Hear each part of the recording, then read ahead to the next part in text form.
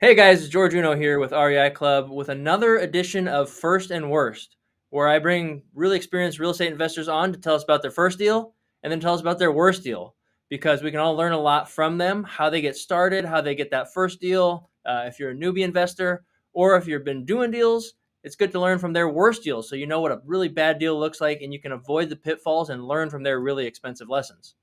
So, my guest today is Mike Singletary of Skip Force and he is running a giant data company that provides skip tracing data to real estate investors all across the country. So if you've been in the game a while, I'm sure you've heard of Skip Force. Uh, it's one of the top providers of skip tracing data. And he's also launching another venture now uh, called ISA Pros, which is training inside sales agents to do more prospecting, setting, and closing. Um, Mike's really a uh, serial entrepreneur, you could say. Uh, he's started multiple businesses. He's also an active real estate investor. He's done about 500 deals in the last five years, and he's holding on to enough doors to make some really good passive income right now. So, Mike, I heard you're down in Austin, Texas. How are you doing today, Mike? Yeah, Austin's fantastic, man. We moved here probably about eight years ago from Houston. So uh, I'm born and raised. No, actually, not born and raised in Houston. I've been in Houston ever since I was probably a teenager. But um, but Austin's home now. Um, you know, I started my real estate career in Houston, but only maybe for about a year. Uh, but, but I really kind of, um, you know, sharpened my axe here in Central Texas. Very cool. Uh, a lot of our guests are from down there. A lot of our listeners are from down there. And geez, so many people are moving there from all over the country. It's just got to be exploding down there, huh? It's crazy, man. I went to school here at UT back in the early 90s, and it was just a sleepy college town. And now uh, I, I don't even recognize it, but it's cool. I mean, you know, it's change, it's evolution, right? Uh, the locals here hate it, but I love it. Yeah, it's cool. It's got to be a lot more vibrant, a lot more fun things to do. So that's cool. It's an awesome place to raise a family, man. So take us back there to Houston. What year was it? When were you getting started into real estate, and what uh, what kind of spurred you to give real estate a shot? Yeah, man, that's a that's a crazy story. Uh, it was like 2014, and uh, at that time, I owned high end hair salons in Houston. So you don't really hear that a lot. That type of transition, especially a bald guy, bald straight guy, going in that industry, right? But that was my jam back in the day, and I did that for like 20 years, right? And um, and I, I loved every aspect of it. As far as like I was very, it was creative. I got to you know work with beautiful women. I mean, I met my wife there, all that stuff, right? Uh, but the systems and process that we had in place, I mean, really, it was on autopilot. It required maybe 10, 15 hours a month out of me.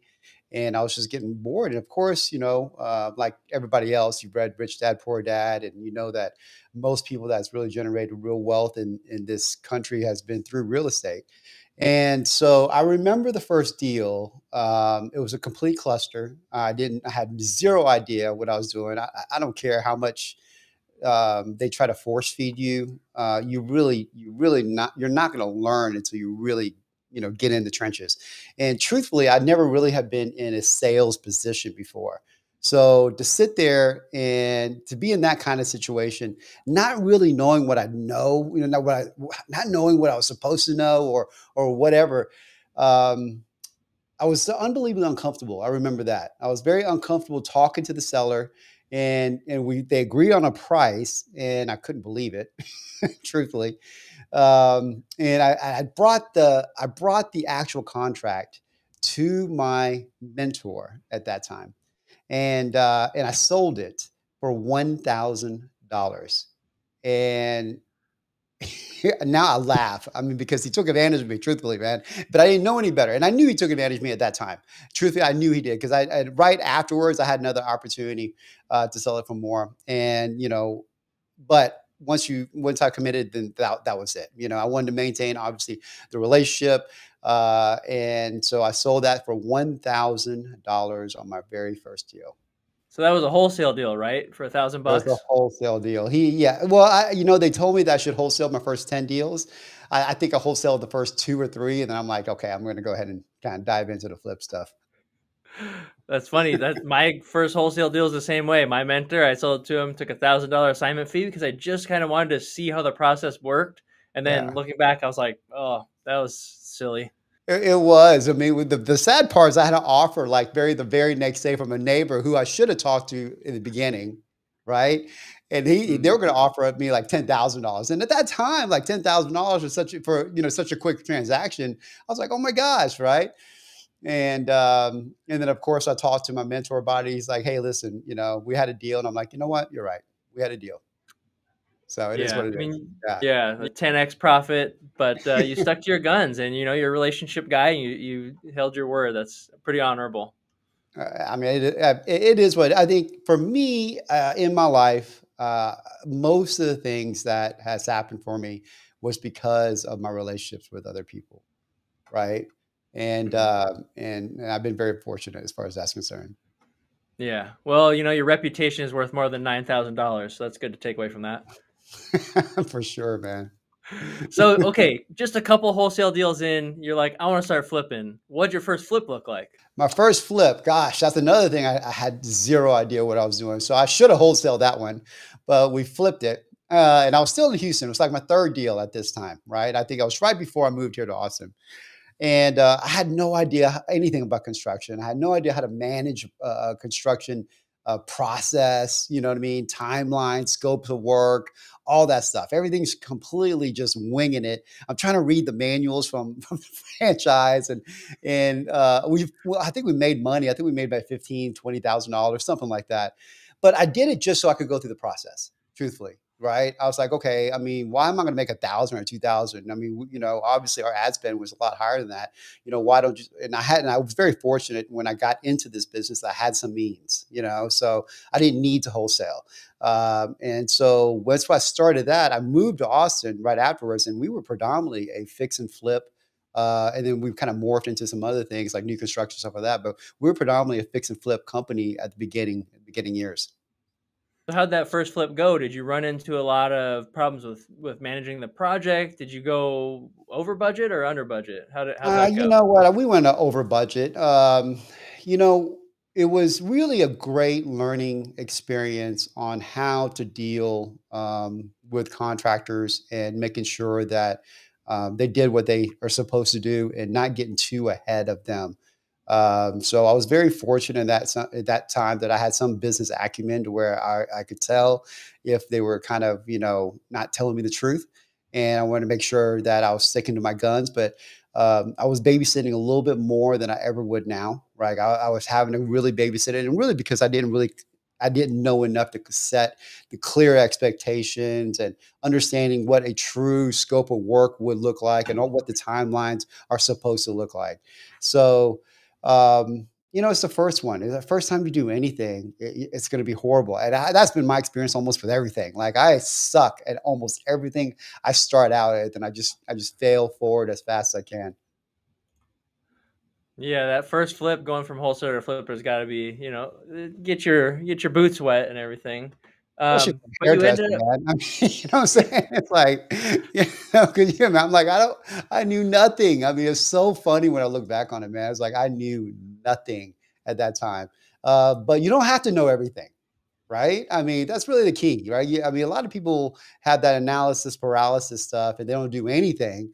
And mm-hmm. uh, I'm fortunate to be the exact opposite. I just kind of jump in and I'll just figure it out. How did that first flip turn out? Did you you made you said you made 15 yeah, yeah, 20 we made money. Yeah, it, it, okay. it, was it was good. I mean, uh, I didn't over rehab it like that's a typical story that you get, right? I didn't over rehab mm-hmm. it. Um, Eh, the margins was really low for what it was, you know. But we, I think we made anywhere. I can't remember it anymore, but between fifteen to twenty thousand. And typically, of course, now I would like to have a much. I, I require a much higher margin on my flips, you know. Mm-hmm. But at that moment, I'm like twenty xing what my previous deal was, right? So, and it didn't take very long, right? It probably took probably about three, four months. So it wasn't the the money, the cycle of money wasn't too bad. Yeah, that's good. It's good turnover, and we can all learn from that. Don't over rehab your properties because that's how you yeah. get over budget, over schedule, and really, really pinch yourself. Absolutely, man. I mean, we gotta we gotta realize that we're not the ones living there. Right. Uh, okay. So that deal went well. I want to move to your worst deal. Like, tell us about a train wreck, dumpster fire, just horrible horror story. Uh, but take us along the path. How many deals did you do before then? Uh, you guys were in Austin now, so kind of give us the journey. What led up? Yeah, man. I think we are probably a couple hundred in by this time, right? And at this time, we were, um, you know, doing you know million dollar flips and new construction and stuff like that. And so this house, I got on the golf course uh, by in Lakeway. It was, you know, it was a million dollar home, and the flip was a complete gut job. So it was probably I can't remember exactly the scope, but probably about 250,000, something like that on the re, on the rehab budget, right? And I was super excited about it because the payday I thought was going to be great. But I ran into GC problems, you know, and that's always been a problem of mine to a certain degree. I keep some for a certain period of time, but uh, uh, you know, for an extended period of time, uh, I haven't really been able to crack that code, and I wasn't really willing to bring him in house.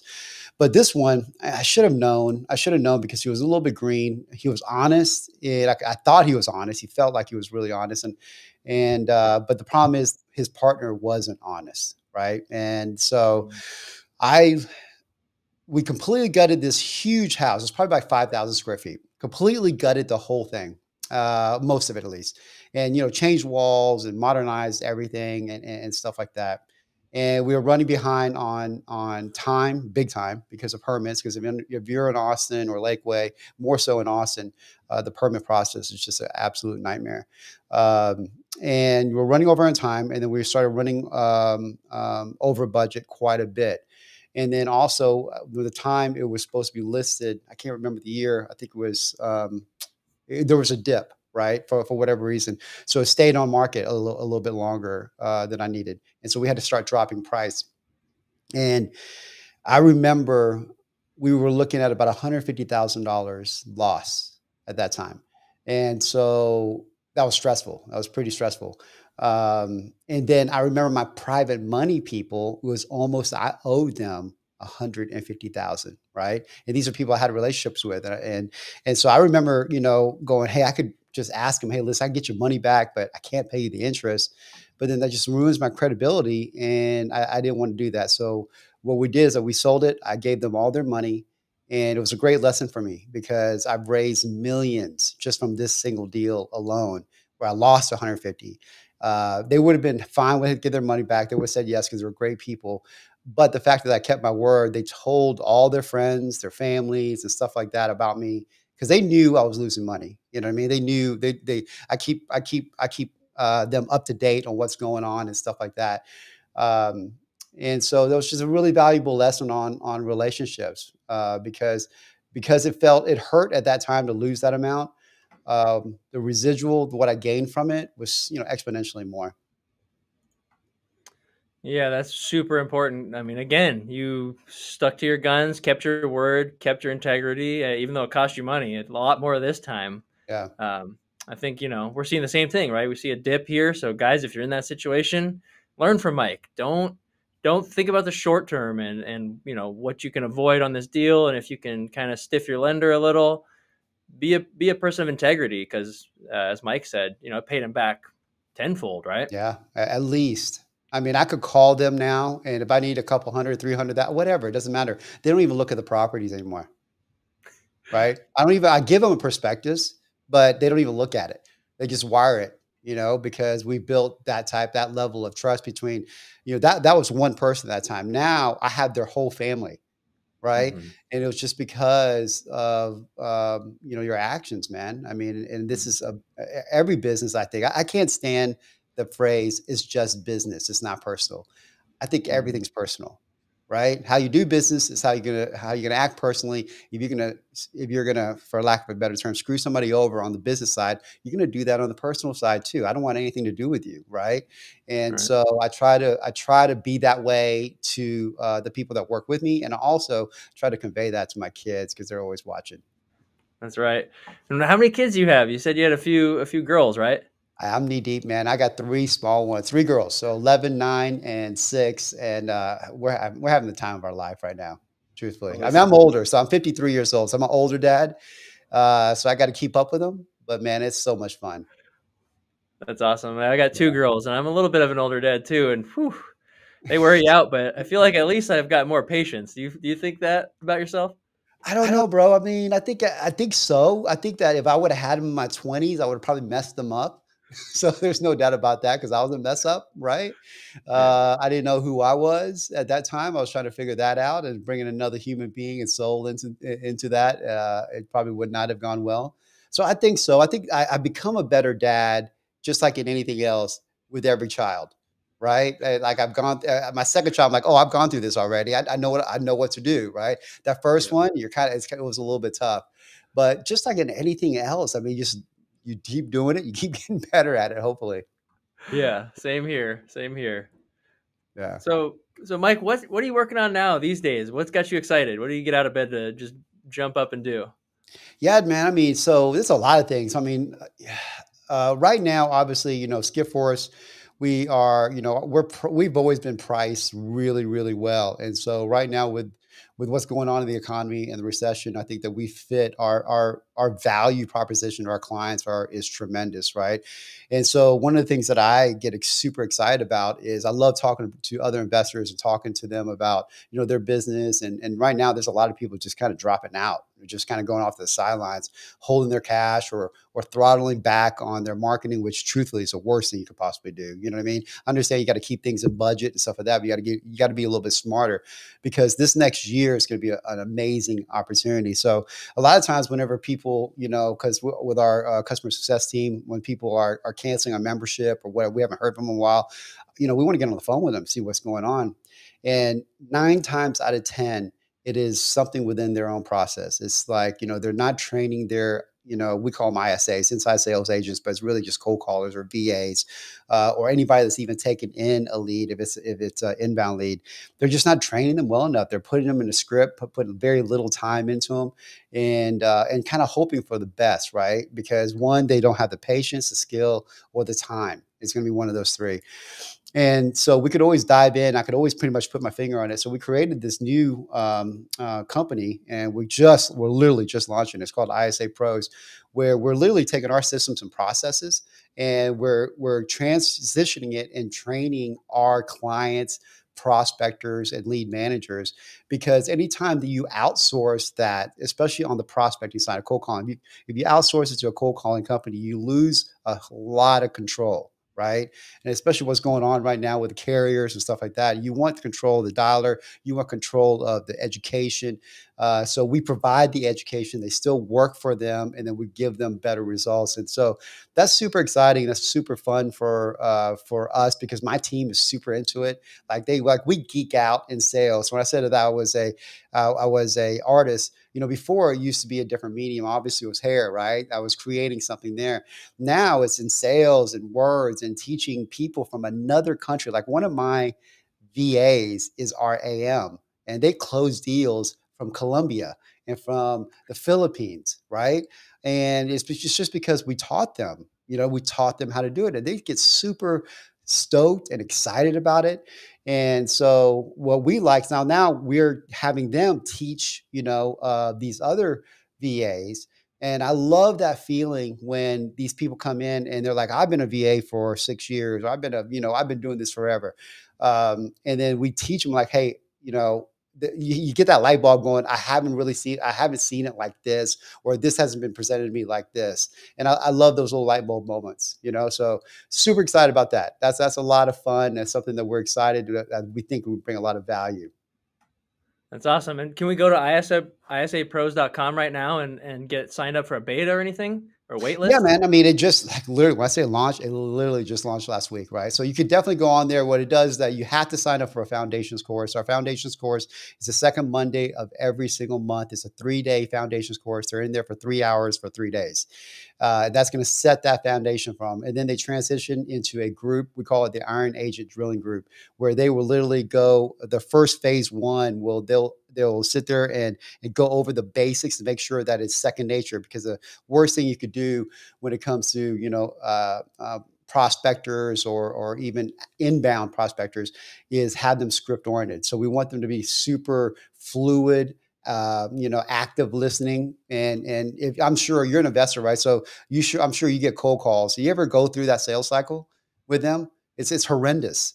Yeah. You know what I mean? It's like it's so cringy that you're like, oh, so it takes some time. The reason why is it takes some time. So we do that phase one, the six weeks thing, and then phase two is continuous you know, upper uh, uh, type of education, and they get to drill, you know, uh, unlimited amount for a month uh, with our with our agents from 12 to 1 so it, uh, it, it serves a purpose and i like that.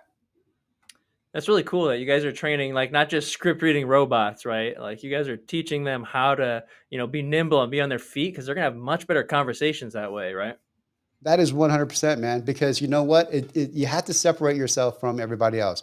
Everybody's getting bombarded with phone calls being sold to constantly right?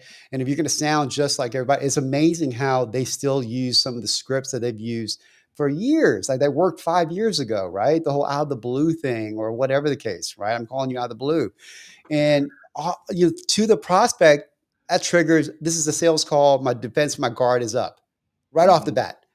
You know what I mean? And uh, and we just teach them something totally different. Like is you got to talk to the person as if you're talking to your neighbor and you have to have the confidence to be able to do it. So it's not, is and we always say this, like you're an actor and the script is only there as a guide. You just have to understand every component of the script because you got to go through them, but it's really dictated by the prospect and how they want that conversation to be led. So it's unbelievably, um, it's unbelievably difficult to do if you don't put the time and effort into it yourself to train them. Yeah, and that's tough. I mean, if you're growing a team like that, it's tough to keep up on training. So is this just for investors with uh, you know ISAs working under them, or can you know if I'm if I want to learn more about how to sell and how to cold call, uh, can I sign up just as an individual? Yeah, man. I mean, we have people that are active investors that you know that are cold calling. We've actually had people that are they cold call for their own business, and so they thought there would be a refresher course, and then they got value out of it. That's where I was like super stoked, right? That's when I'm like, okay, we have something that could really bring value to the marketplace. Because if I have experienced guys coming in going, you know, I got I got something um, um, that, that's important. And I, and I always seek that. I mean, I heard, I, I read this book not long ago, Go for the No. I don't know if you ever read that or not. Uh, and it's a super short book. It's an audio book. It's like an hour and a half, right? And the premise of it is always like, you got to seek failure, like seek it almost as quickly as possible. You know what I mean? So I always want to know about my product as quick as it, it pains me to have a bad product. Like I don't want to, I don't want to sell bad stuff. You know what I mean? It's like it pains me. So whenever you know we were launching that, we had people in there that were actually experienced investors, and I'm like, you know, how was it? and they're like, dude, that was great. I, I, was like, oh my god, all right, thank you. You know, awesome. You know, and you know we're going to evolve uh, along the way, uh, uh, like everything else. But the fact that it brought value, that's awesome, man. That's really cool. I might have to sign up for that because I could definitely use some help. I definitely uh, have dropped the out of the blue line once or twice. I mean, I think that we all get in a rut, right?